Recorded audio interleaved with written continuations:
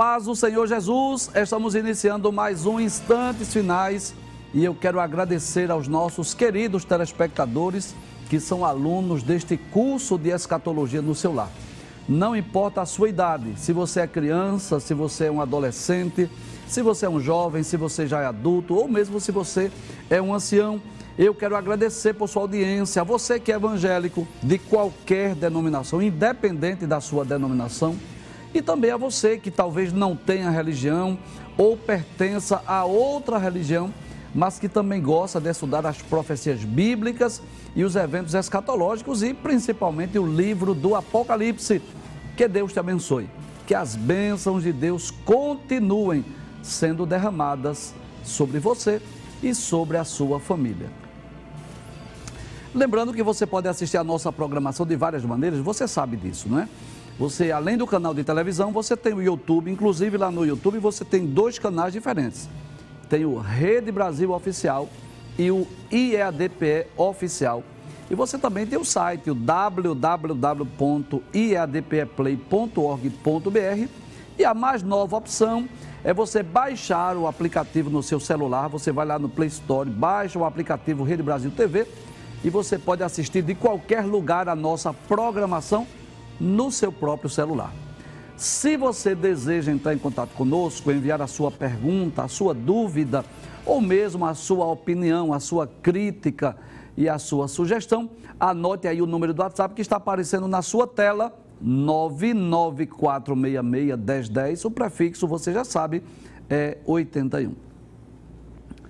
Se você está assistindo diariamente ao nosso programa, você sabe que nós estamos estudando o capítulo 21 do livro do Apocalipse, o penúltimo capítulo do livro. Nós já estudamos 20 capítulos, iniciamos o estudo do capítulo 21, que tem dois temas principais, né? Você sabe que é, nos versículos 1 a 8 fala sobre o novo céu e a nova terra. Isso, muito bem. Gostei da agilidade aí. E a partir do versículo de número 9, é um outro tema que fala sobre a Nova Jerusalém. Muito bem, parabéns aí pela agilidade.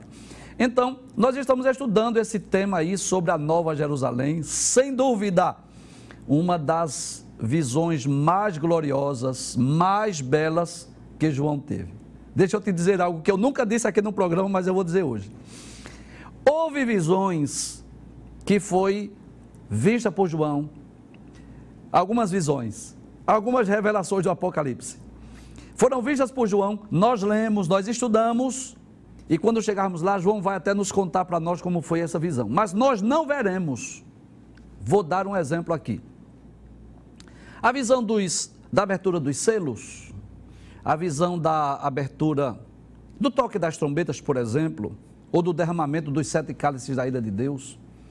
Aquela visão da mulher vestida de sol, ou aquela visão daquela prostituta montada sobre a besta, foi vista apenas por João, nós não vamos ver, né? Mas essa visão da Nova Jerusalém, sim, nós temos essa esperança. Em breve os nossos olhos contemplarão esta cidade belíssima, esta cidade maravilhosa que foi construída pelo próprio Deus. A Bíblia deixa bem claro que o artífice e construtor é o próprio Deus. Mostra mais uma vez essa imagem aí. Claro que isso é uma imagem meramente ilustrativa, mas eu fiquei encantado com essa imagem aí. E João viu, né, em, em um arrebatamento de espírito, estava lá no alto de um monte e contemplou a nova Jerusalém. E em breve nós teremos oportunidade, não só de ver a nova Jerusalém, mas também de entrar entrar na Nova Jerusalém e não somente entrar, mas habitar nesta cidade pelos séculos dos séculos, por que não dizer por toda a eternidade? Então nós já explicamos os primeiros versículos, né? Nós já explicamos os versículos 9 até o versículo de número 11. Vamos relembrar o que já vimos? Então João diz que veio um dos sete anjos, daqueles sete que tinham derramado as sete últimas pragas e disse: Vem, mostrar-te-ei a esposa, a mulher do cordeiro. Nós já explicamos que isso é uma linguagem metafórica que a esposa aí, a mulher do cordeiro, não é a igreja. Nesse texto aí, de forma específica, a esposa, a mulher do cordeiro é a nova Jerusalém. Então nós dissemos que, embora a igreja seja a noiva, mas nesse texto aí é a Nova Jerusalém, porque é descrita como a esposa ou a mulher do cordeiro, porque é nessa cidade que Jesus irá habitar por toda a eternidade.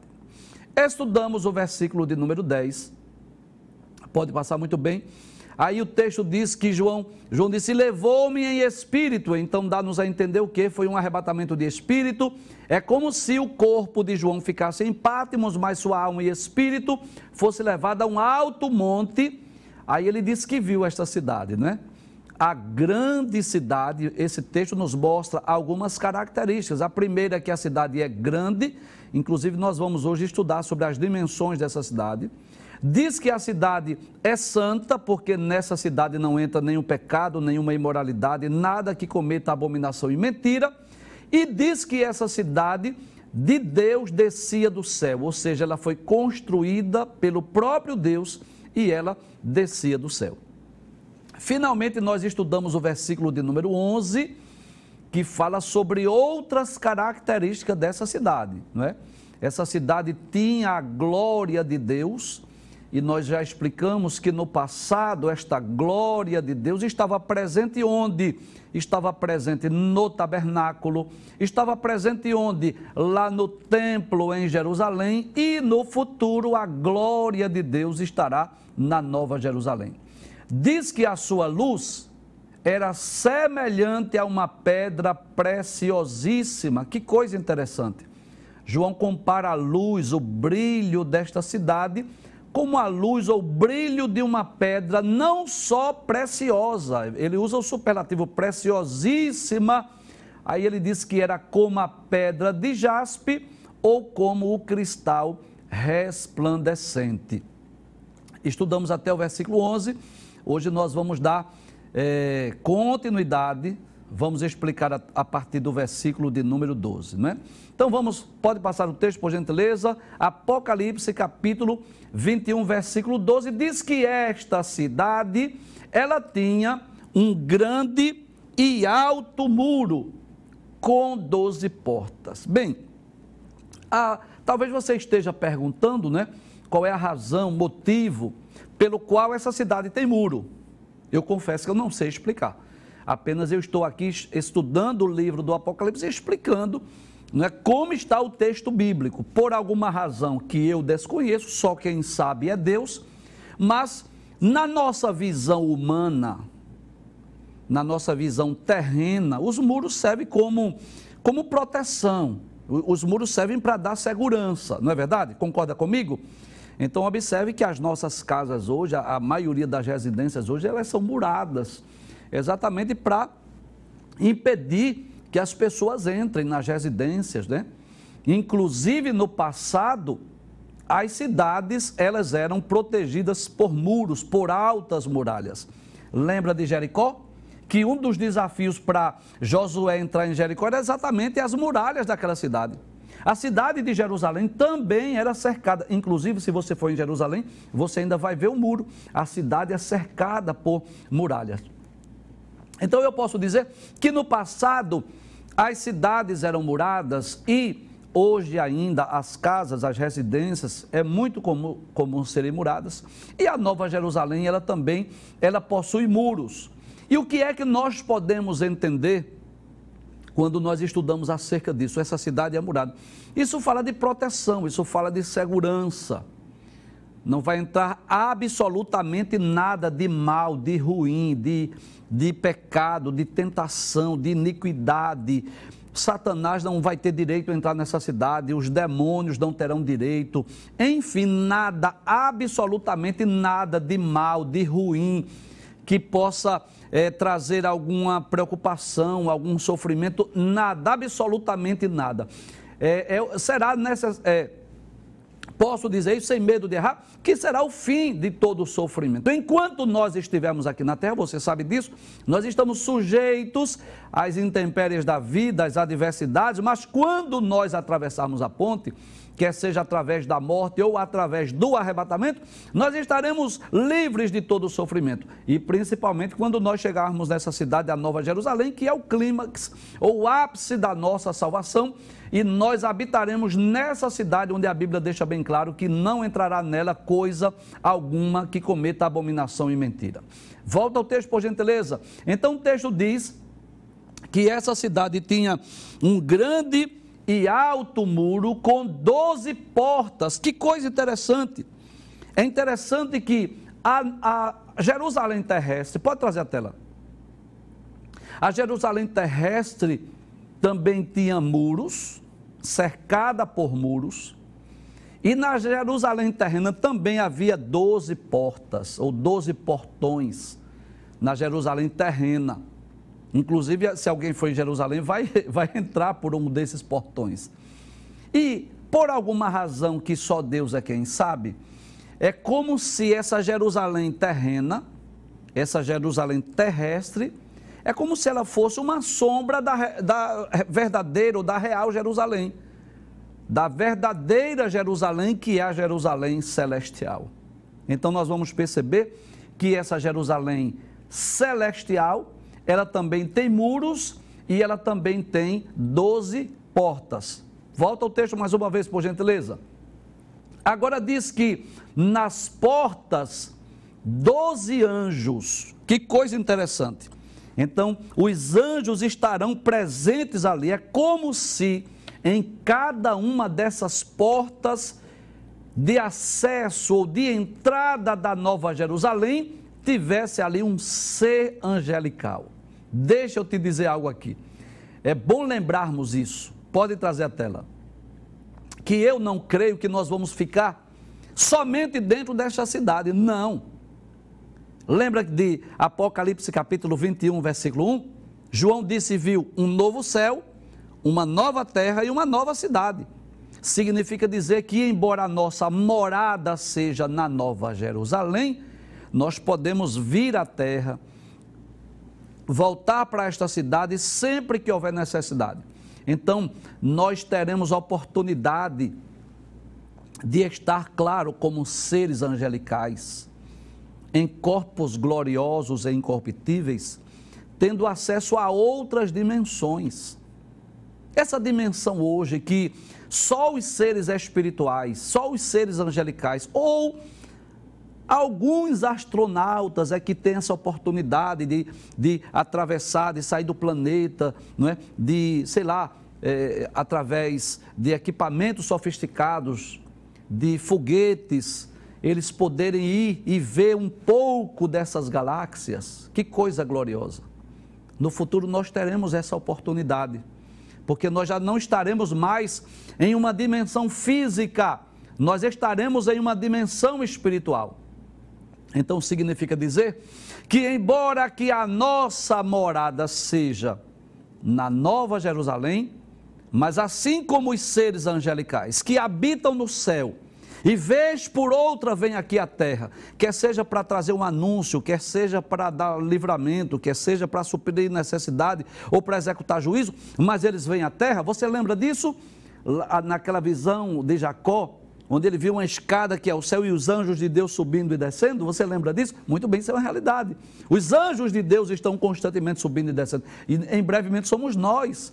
Nós teremos essa liberdade de estarmos aqui na terra ou de irmos para Nova Jerusalém. E é como se dá-nos a entender isso, né? É como se ao entrarmos ou sairmos dessa cidade, nós estivéssemos ali na presença de dos seres angelicais. Então a cidade é murada, como diz a Bíblia. Esta cidade tem 12 portas e em cada porta tem um ser angelical. Volta o texto mais uma vez, por gentileza. Aí diz: E nas portas 12 anjos, ou seja, um anjo em cada porta, e nomes escritos sobre elas que são os nomes das doze tribos de Israel. Então você vai perceber, quando nós lemos a descrição dessa Nova Jerusalém, que nessas portas estão os nomes das doze tribos de Israel. E nos versículos posteriores, nós vamos ver também nos fundamentos do muro o nome dos doze apóstolos. E o que isso fala para nós? É uma referência à salvação, tanto de judeus quanto de gentios. Quando o texto diz que nesses portões ou nessas portas estavam os nomes das doze tribos de Israel, não resta dúvidas de que isso faz menção ao povo judeu que será salvo. Claro que não estou com isso dizendo que todos os judeus serão salvos. Não é o fato de ser judeu que garante a salvação de ninguém, mas, claro, a fé em Cristo. Então serão salvos os judeus que no Antigo Testamento guardaram a lei de Deus e os judeus que no Novo Testamento creram em Cristo e o receberam como seu salvador pessoal. Então, o fato de dizer que o nome das doze tribos estão nessas portas significa dizer que haverá salvação para o povo judeu. Volta o texto mais uma vez, só vou recapitular para passarmos para o versículo seguinte. E tem um grande e alto muro com doze portas, e nas portas doze anjos, e nomes escritos sobre elas, que são os nomes das doze tribos de Israel. Pode passar o texto, versículo de número 13, por favor. Aí, no versículo, no versículo 13, ele vai dizer como estão colocadas essas portas. Da banda do levante, três portas, da banda do norte, três portas, da banda do sul, três portas e da banda do poente, três portas. Ou seja, ao norte, ao sul, ao leste, ao oeste, havia três portas de cada lado. Você vai perceber que na descrição desta cidade, nós vamos ver isso, que o formato dessa cidade é um formato de um cubo, porque as suas dimensões são iguais. Então, é, eu posso dizer que a altura, a largura e o comprimento são iguais. Então, eu posso dizer que de cada lado daqueles muros existem cada um três portas. E é interessante que o profeta Ezequiel, Lá no capítulo de número 48, nesta visão que ele teve, ele também faz menção a estas portas. Ezequiel capítulo 48, versículos 30 a 35, Ezequiel profetizou mais ou menos por volta do ano 600 antes de Cristo. Ezequiel foi um contemporâneo de Daniel. E ele teve também esse vislumbre, essa visão desta maravilhosa cidade que está lá no capítulo 48, versículos 30 a 35. Diz assim: E estas são as saídas da cidade, desde a banda do norte, 4.500 medidas. E as portas da cidade serão conforme os nomes das tribos de Israel. Que coisa interessante.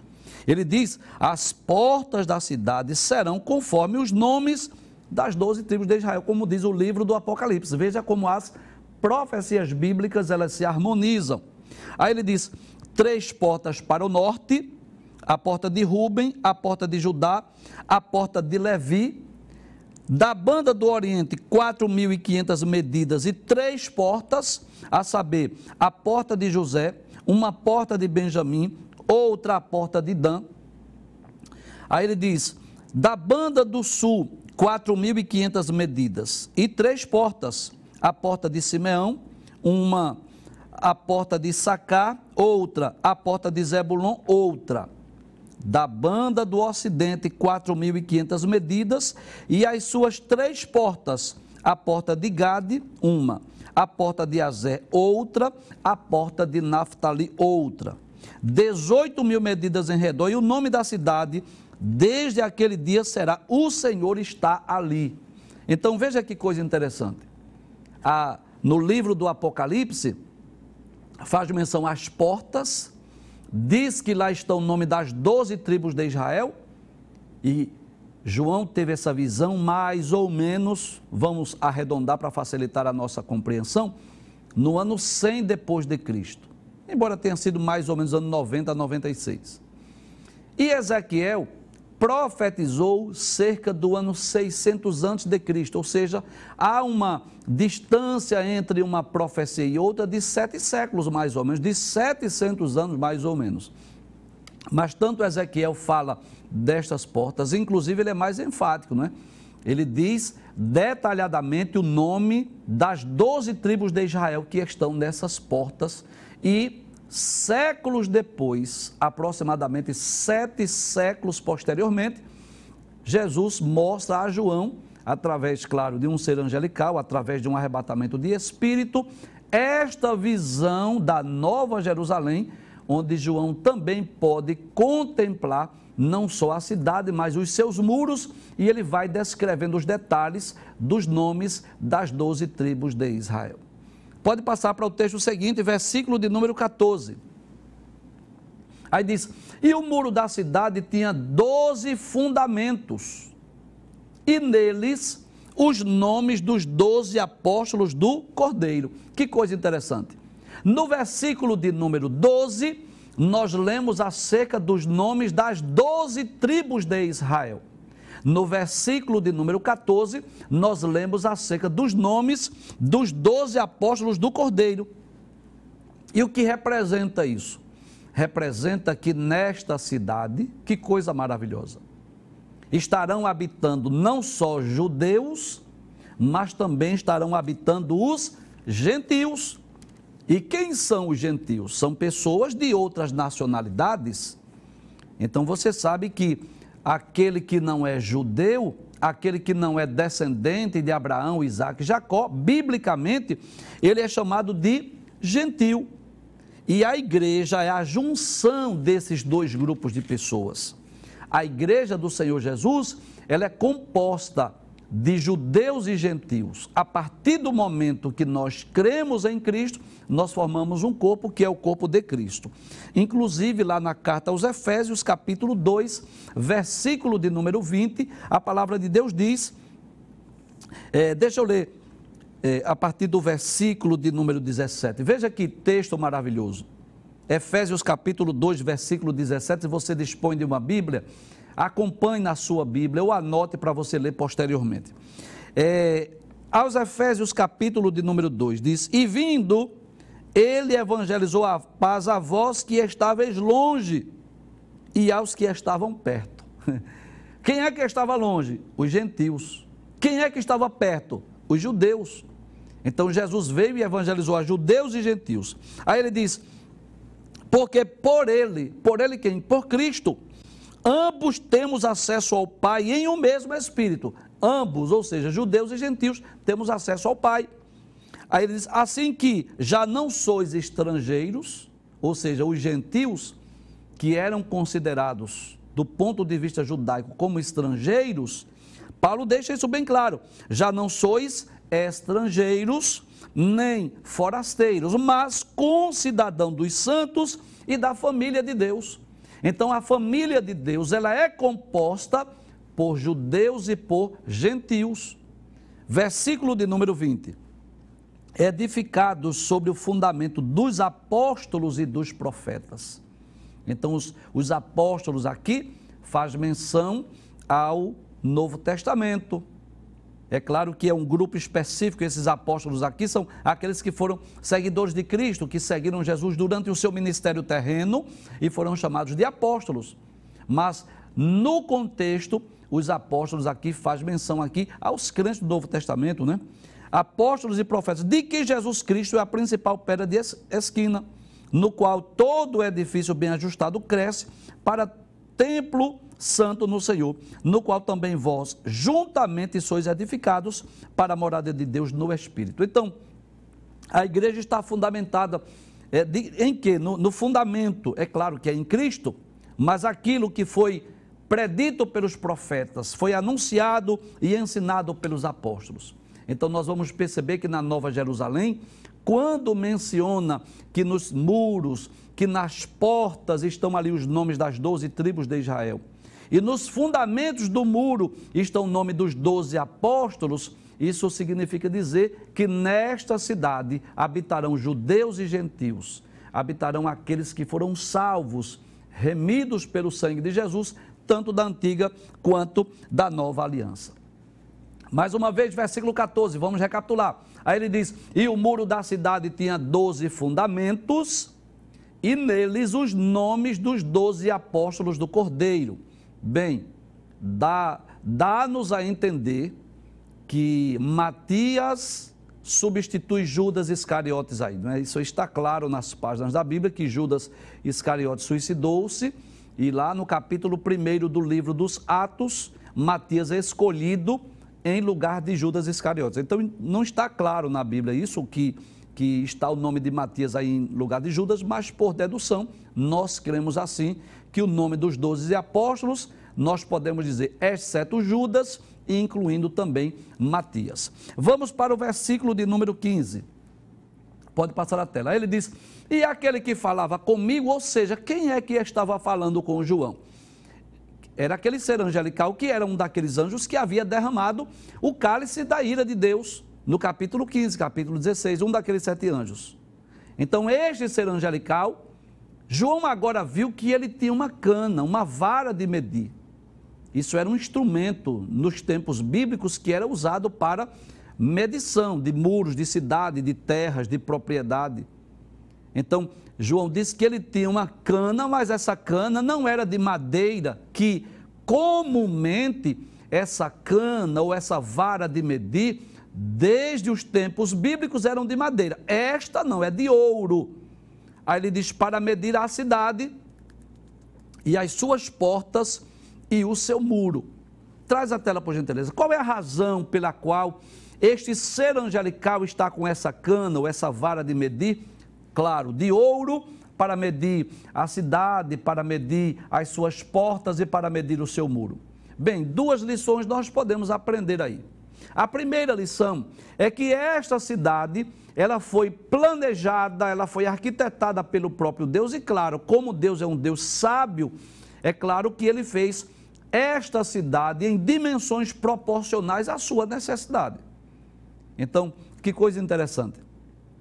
As cidades aqui na, na terra, no mundo, seja lá em qualquer país, elas quando começam a serem construídas, geralmente nas grandes metrópoles, por conta do êxodo rural, por conta da saída dos homens da área urbana para vir para os, os, grandes centros, o que é que acontece? Acontece uma superpopulação é, nas capitais, nas cidades que passa a habitar um grande número de pessoas que estava fora do planejamento e aí começa a gerar uma série de transtornos, né? É o trânsito, é o problema de transporte, é o problema do saneamento básico. E essas cidades que, embora tenham sido planejadas, planejadas com antecedência, mas por conta da superpopulação, o que foi que aconteceu? Começaram a surgir os problemas. Todo mundo que mora nas grandes metrópoles sabe dos grandes problemas que tem é, por conta desse excesso ou desse crescimento populacional. Mas essa cidade, claro, planejada e arquitetada por aquele que conhece tudo, que sabe exatamente o número exato das pessoas que vai habitar lá, ele construiu essa cidade em dimensões exatas, que seja é, capaz, que seja suficiente de abrigar todos os salvos, sem que haja nenhum tipo de problema de superpopulação, sem que traga nenhum tipo de problema para a moradia naquela cidade. Esta é a primeira lição que nós aprendemos. Então o anjo vai medir, como que diz assim: olha, eu vou medir para você ver as dimensões. É como se eh, o anjo dissesse assim: eu vou medir aqui, você vai anotar as dimensões dessa cidade, desses muros, para que você possa registrar, para que os, os homens, as pessoas, os teólogos, os estudantes da Bíblia, ao lerem o livro do Apocalipse, possam entender essa verdade. Que esta cidade tem lugar para todos.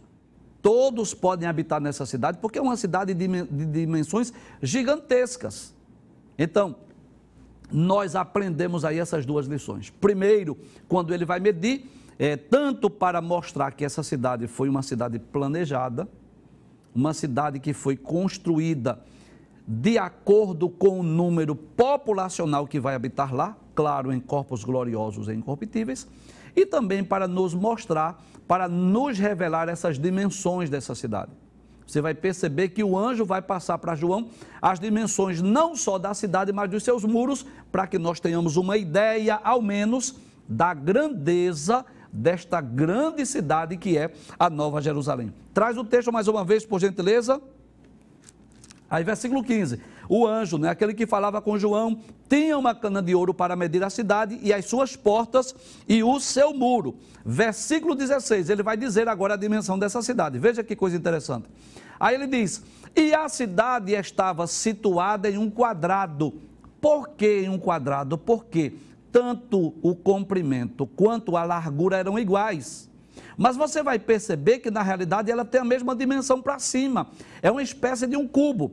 Aí ele vai dizer: e o seu comprimento era tanto como a largura, ou seja, não era uma cidade retangular, era uma cidade como que fosse um quadrado. Aí ele diz: e mediu a cidade com a cana até 12 mil estádios. O estádio, que não é esse estádio de futebol, claro, era um, uma dimensão, uma medida nos tempos bíblicos equivalente hoje a mais ou menos 185 metros. Era uma medida comum nos tempos, nos tempos bíblicos. Volta ao texto mais uma vez. Aí ele vai dizer que mediu a cidade com a cana até 12 mil estádios e o seu comprimento, largura e altura eram iguais. Ou seja, transformando esses 12 mil estádios em quilômetros, nós podemos dizer que esta cidade tem 2.200 quilômetros de comprimento, pode trazer a tela, 2.200 quilômetros de largura e 2.200 quilômetros de altura. Então é uma cidade gigantesca que com certeza ela é capaz de comportar, de abrigar todos os salvos. É claro que nós precisamos entender, pelo menos essa a compreensão que nós temos, que nesta cidade nós não vamos ter necessariamente uma casa ou um apartamento ou um quarto para morar. Não. E por quê? Porque nós vamos estar em corpos gloriosos nós estaremos em corpos incorruptíveis. Aqui na terra, o ser humano precisa de uma casa, de um lar, de um apartamento, alguma coisa para ele descansar, para ele fazer as suas refeições, para ele reunir-se com a sua família. Mas lá no céu, nós estaremos em corpos gloriosos, em corpos incorruptíveis. Nós não teremos necessidade, por exemplo, de dormir, nós não teremos é, necessidade de fazer refeições de estarmos repousando, já que nós estaremos numa outra dimensão gloriosa, uma dimensão celestial, uma dimensão espiritual. Então, é, com certeza, nós podemos dizer que essa gigantesca cidade, que tem 2.200 quilômetros de comprimento, 2.200 quilômetros de largura e 2.200 quilômetros de altura, numa, numa forma de um cubo mais ou menos, ela será capaz para abrigar todos os salvos, tanto da antiga aliança quanto também da nova aliança ou do Novo Testamento. Pode passar o texto, versículo de número 17. Aí ele vai falar agora sobre o muro. Ele diz: E mediu o seu muro de 144 côvados. Traz para cá, por gentileza. O que é um côvado? Um côvado é nos tempos, inclusive você vai ver isso muito. É, é, a Bíblia fala muito de côvado, né? Lembra que as dimensões da arca que Deus deu para nós foi em côvado? Pode observar isso. É, então, a, o côvado é mais ou menos essa dimensão aqui entre o cotovelo e a ponta desse dedo aqui. Então, é mais ou menos 45 centímetros a dimensão de um côvado. Volta para o texto mais uma vez. Aí o texto diz: E mediu o seu muro de 144 côvados, ou seja, transformando aí esse côvado em metros, seria mais ou menos 64 metros, 64 ou 65 metros, conforme a medida de homem que é a de um anjo. Deixa esse texto aí, por gentileza. Quando nós lemos esse texto, que está na versão Almeida, revista e corrigida, dá-nos a entender que a altura de um homem, ela é a altura de um anjo. Veja o que o texto diz. Conforme a medida de homem, que é a de um anjo. Mas nós recorremos às outras, pode trazer a tela, nós recorremos às outras versões porque eu quero deixar bem claro isso, que embora nós tomamos por base a tradução, a versão ao meio da revista e corrigida, mas nós fazemos uso de outras versões, de outras traduções para trazermos um estudo mais detalhado. Quando há necessidade, nós mencionamos aqui. Então eu vou citar aqui esse texto em duas versões para nós compreendermos melhor, que é a versão King James e a nova tradução na linguagem de hoje. Inclusive nessas nessas versões, a King James, a NTLH, que é a nova tradução na linguagem de hoje, ou a Bíblia Viva, você vai perceber que essas dimensões, tanto da cidade quanto do muro, elas não vêm em estádio e em, é, como diz a, a, a, medida. Volta lá o texto, por gentileza. Côvado, pode voltar, desculpe. Nem em estádio a dimensão da cidade, pode voltar, e nem em côvado, a medida do muro, ela já traz em quilômetros ou em metros para facilitar a nossa compreensão. Então a King James diz assim: ele mediu o muro e deu 65 metros de altura. Então o, o muro desta cidade, a dimensão dele, veja para você ter uma ideia, a altura da cidade são 2.200 quilômetros, mas o muro 64 ou 65 metros. Aí ele diz: de acordo com a medida humana que o anjo estava usando. Então o texto não está dizendo que a altura do anjo é a mesma altura do ser humano. Até porque o ser humano ele enfrenta proporções muito diversificadas, né? Você pode perceber isso. Então, a melhor tradução seria de acordo com a medida humana, que era aquela cana, sendo que esta que João viu era de ouro. Mas era uma medida comum nos tempos de João, ele conhecia muito bem aquela cana ou aquela vara de medir. Aí ele diz que o anjo estava usando. Na NTLH, que é uma versão também que já transforma o côvado em metros, diz assim: O anjo mediu também a muralha e viu que tinha 64 metros de largura, conforme as medidas comuns que o anjo estava usando. Então não é o texto não está dizendo que a altura do anjo seja a altura de um homem, não é isso, mas ele estava dizendo que aquela vara era algo comum ao ser humano, mas que quem estava usando naquela ocasião era o ser angelical. Aí ele diz: conforme as medidas comuns que o anjo estava usando na NTLH e na King James diz: de acordo com a medida humana porque o homem é que trabalha com aquela vara de medir que o anjo estava usando. Vamos para o versículo de número 18. Pode passar na tela, por gentileza. Versículo 18. Ele diz: é a fábrica do seu muro. Fábrica aí, na realidade, ele está se referindo ao material. De que é feito o material desse muro? Aí ele diz: era de jaspe. Que coisa interessante.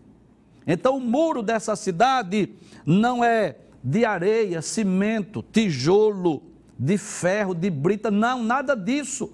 O muro dessa cidade, o material era de jaspe, de uma pedra preciosa. Aí dizia a cidade, qual era o material da cidade, João? Você dá para descrever? Ele diz que a cidade de ouro puro, semelhante ao vidro puro. Então, nós já dissemos aqui que Embora o texto esteja dizendo que a cidade seja de ouro, mas nós cremos que não é o mesmo ouro aqui da terra. Nós cremos que esse ouro ele é muito mais valioso, muito mais belo, porque este ouro aqui da terra é terreno, é, é material, mas este ouro da cidade ele com certeza é um ouro mais especial, mais belo e mais valioso. Volta ao texto, só para a gente concluir, versículo 18. Ele diz que a cidade, qual era o material, João, que a cidade estava construída? Foi construída de que material? Não foi ferro, brita, areia, cimento, tijolo? Não, não, não. Ele diz, era de ouro puro. Aí ele diz que esse ouro era semelhante ao vidro puro. Então, foi a forma humana que João pôde descrever o material desta cidade. Com certeza, uma cidade belíssima, que não existe nada, absolutamente nada, que nós possamos comparar e que nós iremos habitar no futuro com nosso Deus, com nosso Senhor Jesus Cristo, com os profetas, os seres angelicais, os apóstolos, os reis de Israel, enfim, todos os salvos pelos séculos dos séculos.